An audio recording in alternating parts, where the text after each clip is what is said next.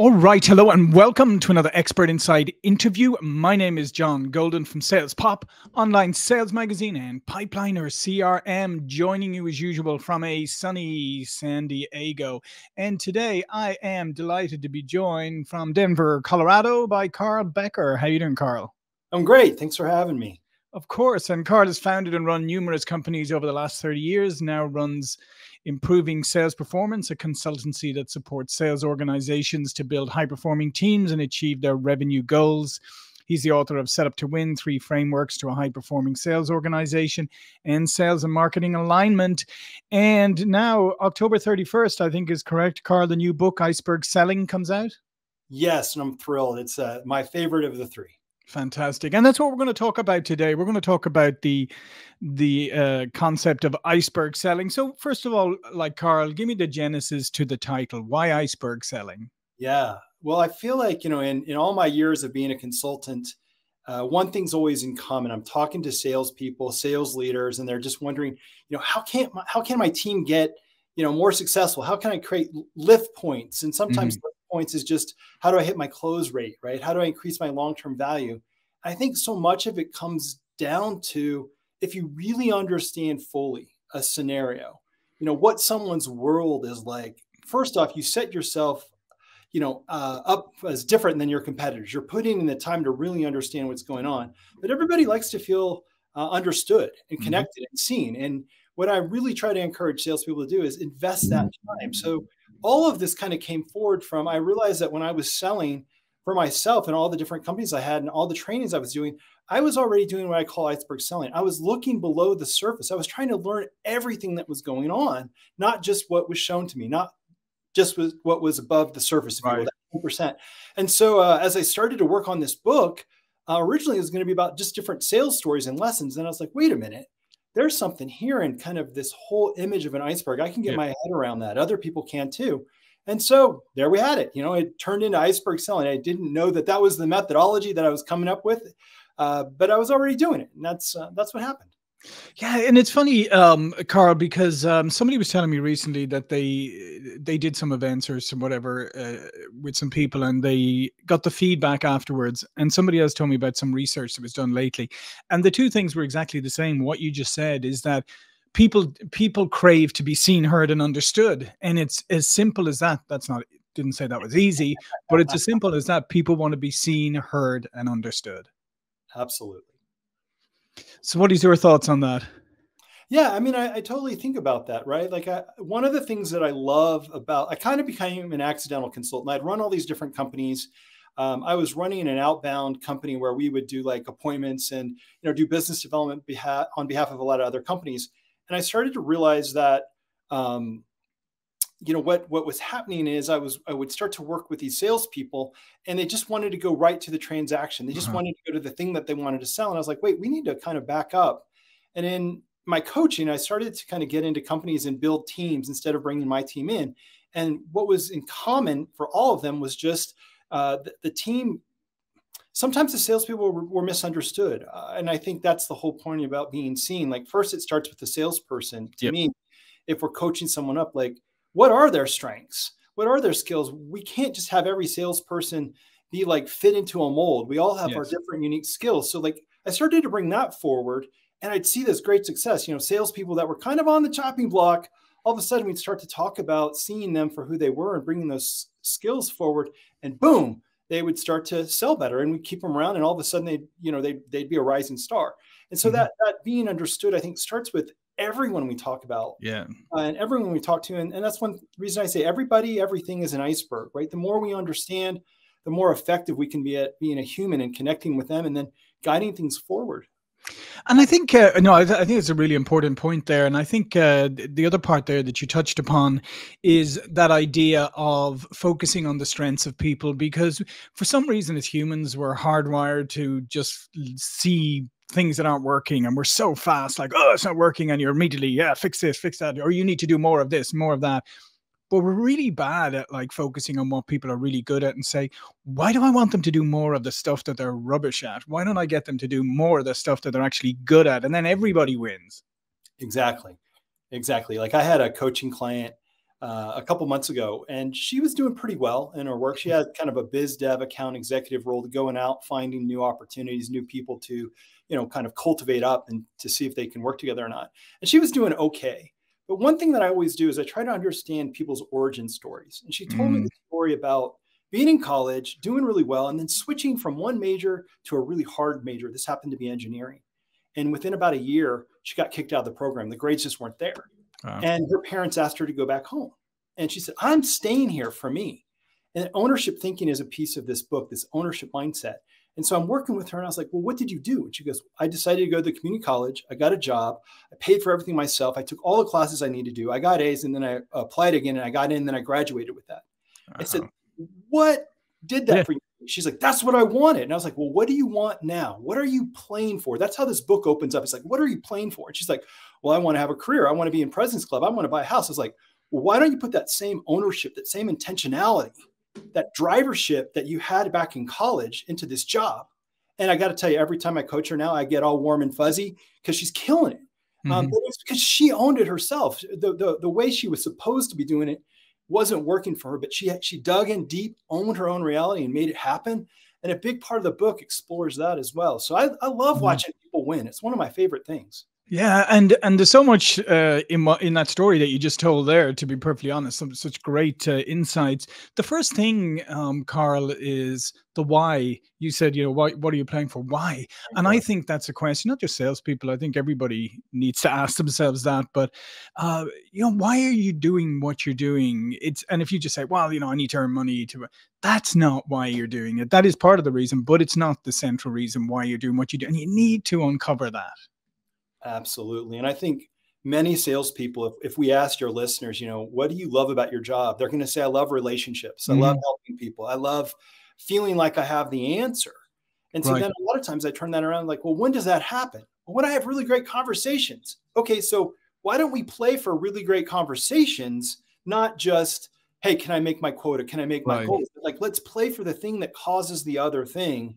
But if we're playing for what fills us up, I mean, in sales, we know momentum creates momentum. So yep. find your own momentum and unlock that. And uh, I love that. Like I said, I love to watch people win. And I think that's a big part. You got to understand mm-hmm. your why. You got to understand what you're playing for and then do everything you can to stay there. Yeah, and then the point of, uh, as you said, the the self leadership thing. I think that was fantastic because that's the thing is people don't realize that that the first part of being a good leader is leading yourself, right? And you don't need teams, you don't need anybody, but leading yourself is, is very, very important. That idea of, of self leadership, and particularly in a sales role, I mean, we call them salespeople, salespreneurs, because they are the entrepreneurs in organizations. They're normally the only ones who've got variable comp, maybe completely very. So they have to get creative. So I love that. I love that idea of of uh, of self leadership and being creative because you need to own it because you have a very different job than everybody else. Exactly. And it's funny. I was talking to, I run a peer group of people that run marketing agencies. Mm-hmm. And this was just last week. And they were kind of talking about how come, and um, watch my words here, how come my account managers aren't owning this more? How come they aren't kind of realizing that our success is our client's success? And I said, well, let's just start with a simple concept. What if we change the name from account manager to account leader? Mm. There was kind of this like, whoa, aha. And I was like, because if we want them to lead these accounts they're managing, lead them to success, then we need to help them understand they are leaders. That means ownership, drivership, you know, removing obstacles, being able to advocate, co-create, bringing things forward like a leader does, not just saying, how, how are we doing? Here's the timeline. Here's the project management. Here's Asana. We're on track. That that's not creating outcomes, right? Um, and so I really encourage them to start changing the way they describe their people to account leaders. And I think there was some traction there. Yeah. Oh, I, I I would agree because I think like there's a huge difference between management and leadership, um, both psychologically and in the and I think how we think about it and in obviously how you execute. So it is important that people understand what leadership means and the fact that I love that concept of account leader because you're you're leading the transfer of value and the success and all of that, and that should be something that you're proud of and that you want to be. You want to own that part, right? Totally. I mean, if you think about uh, first, I love what you said, and, and, but if you think about most people in account or sales, they they love relationships, they love mm-hmm. people, they love feeling understood, they love understanding other people. So you kind of go, okay, in this account manager setting, well, don't you want to understand their success? Don't you want to understand what's going to make them happy and create value? I mean, ultimately, that's why they started to work with us in sales. We're just guiding people to how we think we can solve their problem, how we can mm-hmm. create value. And so let's let's keep that kind of energy and that focus going all down the chain and i think for account managers it is like that like like get in there get just mm-hmm. as dirty and you know mm-hmm. shoulder to shoulder with these people than as we do as salespeople because because that's what creates success when you're there seeing that person for who they are yeah. you're aligning with what they need and you're bringing that value yeah. And I think one of the other things that, uh, you know, we've become great over the years at our personas and target personas. And sometimes it's almost like we've made these like non human things, you know, these, these representations. When the fact is, yeah, you may be dealing with a number of people in the buying process, which is normal for for B2B and bigger ticket items, but each person has a personal motivation. Yes, they all have company motivation. They all have maybe their department motivation or their yeah. their role or whatever. But they also have a personal motivation because in any B two B sale, you, you people who are buying are putting a little bit of themselves on the line there too, and that's something I think people often overlook. I agree, and it gets back to that kind of whole iceberg concept. Yeah. Right? I think too often as humans, whether we're selling or just kind of like interacting even with our family, we're only looking above what's above the surface, which is about 10%. Mm-hmm. And as we yeah. start to get curious and stay present and ask open-ended questions, and I'm going to say build rapport, we start to see more and more and more of that. And, it, and when we do, we get someone's world. You know, and I think one of the things I like to do, if if if you were a sales manager and we were kind of coaching, I would say, I want you to go to your top three salespeople. I want you to kind of tell them the account they're working on. And then I want you to say, not, do you think we're going to win this or do you think we're going to close it? But tell me about their world. And I'm mm-hmm. going to bet you that your best salespeople are going to be like, oh, yeah, this and this and this and this, and this is how it affects this person. But then you're going to go to kind of your mid tier salespeople and they're, they're not going to know that answer. Mm-hmm. And, and it's so, it's so basic. The more you learn about somebody, the more you understand them, the stronger relationship you have, the more rapport you have, the more you can be of service and guide them forward because you know what their reality is like, you know their world. And so, um, yeah, I mean, back to kind of what you're saying, it's so important to understand as much as you can before you move anything forward. No, I, I, I agree, and I think there are there's a couple of things. I think number one is you have to be curious, right? And you have to be kind of in in many ways the most successful are insatiably curious about the business of business about the business of their customer and and about the personal you know the, the business and personal circumstances of, of their buyers. But it's that it's that curiosity i think that drives the best people. Yeah absolutely. And it's funny i'll, I'll tell you a, a, quick story. I was running an exercise with the team and i said that this happened to be a team that pro- provided professional services to cpas so cpas have national conferences so that's kind of the backstory. So i just said in this exercise I want you to imagine you can talk to anyone you want that's at this conference or going to this conference. What would you, what would you, if you met them, what would you say?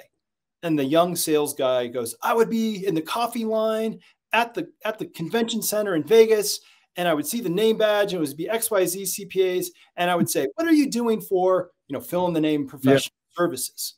And and I would ask them if they're happy with it and if they have any projects. And I was like, man, you're like very bottom of the funnel. a conversation about selling. Well, one of the partners uh, was about to retire. So she's been in the business a long time. And she kind of sat there like, you know, a Jedi master and just said, Well, I would be on a plane and I would be sitting next to a CPA and they would pull out their bag and it would say XYZ CPA on it. And I would say, Oh, are you going to the conference? And they would say, Yeah. And I would say, Why? What's your life like? What do you want to get out of the conference? Yeah. And then we'd have a conversation the next three hours. Mm-hmm. That's right. Yeah. Um, really powerful. Really powerful. That you know exactly that that's extremely powerful. I'm just trying to think what a cpa conference would be like but there you go. Probably one of the tamest ones you'd ever go to. Anyway apologies to cpas i'm just joking. Um, uh, the other part too uh, carla is is the authenticity and this has come up more and more obviously since since covid and since people kind of took a little bit of a, a step back and started going you know looking at what's important. And as you mentioned rapport relationship building but authenticity is, is really critical. And and i have a fear sometimes that people are falling into this trap of of you know there are people out there saying i'll teach you how to be authentic and this is what you should do. And you go no no no no no no no. You don't teach somebody to be authentic. You you help them uh, you help them actually uh, communicate their authenticity because you can't you can't make somebody authentic. Yeah, I you just kind of gave me goosebumps because I was this isn't about the book, but it's it's all derivative. It's all close. Like sure. all the stories I'm telling you are like the DNA that came together to build the book. So um, I've got this team. I, I, I was a fraction. Sometimes I'm a fractional leader in my company. We mm. have other consultants will come in as a fractional leader. Sometimes sure. CRO, VP of sales, things like that. So uh, I'm with this professional services firm. There's about six people on the team. I end up working for them about two years. And the first couple months, it was about trust and I was trying to understand their current world and where they want to go and, and, and build the steps to get there. Well, I made the meeting really safe so that people could be vulnerable. And if you, you know, if those of you that are listening here in sales, you have some rough days. Yeah. And, and, there's some sales meetings you're just like, I don't want to come and talk about wins and losses. Like, mm-hmm. I just want to like, I want to go work out or I want to go fix a cocktail or whatever, right? So we, we started to build this culture where they could vent, they could come and share, and then we would process through it. mm-hmm. One day I had a horrible day, horrible day. And so I'm on the call and know, body language is all rough. And they're like, what's going on? I'm like, ah, you know, and I'm trying to keep my cool. It's like, I'm a consultant. I'm the leader of this organization. I got to be really buttoned up. And I was like, I'm just really mad. And I probably started to, to use some rougher language than that. And they all said, time out. I said, what? And they're like, you have been there for us every single year, every single month. If we have something, you create the space, we listen, you, you listen, you guide us forward. It's the least we can do for you.